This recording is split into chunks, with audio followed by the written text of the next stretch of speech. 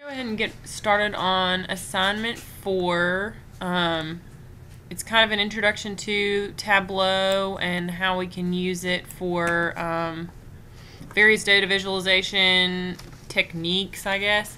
Um, I want to introduce it though with our data set before we get started in Tableau.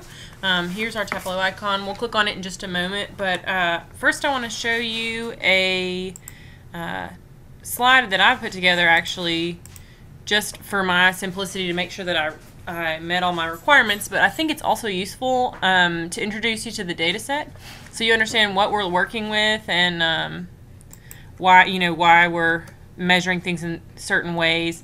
Um, so there are certain requested variables that we were we were asked to find in our data set to use as our you know what we're paying attention to. Um, we want to make sure we're satisfying those requirements, and then uh, we'll there are some requested styles and locations. So this will hopefully explain in the future why um, you know certain variables are delineated by shape versus color or size. Um, so first, we were asked to uh, include a reasonable predictor variable. Um, for us, that's going to be the number of hours training.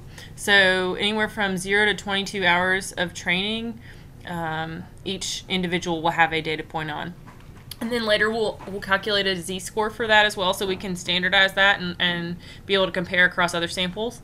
But um, we'll get into that in more detail later. We're also asked to have a reasonable outcome variable. We'll use skill competency score. The range for this was 0 to 243 just um, for your information that could be anything from you know um, you know superior rating scales or um, you know perhaps there's a, a knowledge based test or a skill based test um, so essentially what we're looking at here is does the number of hours training predict um, your skill competency um, so then we were asked to uh, have a continuous demographic variable. For that, we're going to use age. The range is from 0 to 75. Um, for this continuous demographic variable, we were asked to have it vary by size discretely. So each um, individual's age will appear as a data point on this scatter plot. And depending on how old you are, will uh, indicate how large your, your size is of your data point. So the really large data points are for older individuals. Um, and then we were asked to have three different levels of categorical demographic variables. So um, we have one for with two levels, one with three and one with four. For the two level demographic variable, we're using gender. Um, male is one and female is two. For those, they'll vary by color. So male will be one color and female will be another. Um, and they'll each have a trend line for uh, their, their particular sample. So there'll be a male trend line and a female trend line. Um, then for our three-level categorical demographic variable, we are using ethnicity. So we'll use um, white, black, and Hispanic. Um, and those will vary by column. So essentially each of these samples will be compared against themselves. So it'll be like three scatter plots next to one another. And each of those ethnicities will have their own trend line as well. Um, then we have a four-level categorical demographic variable. We're using work team, which is work teams number one, two, three, and four. So um, you could use other examples. You could use, you know, shift one, shift two, shift three, or whatever the, the variable of interest is. But for us, for simplicity, we're just going to use work teams one, two, three, and four.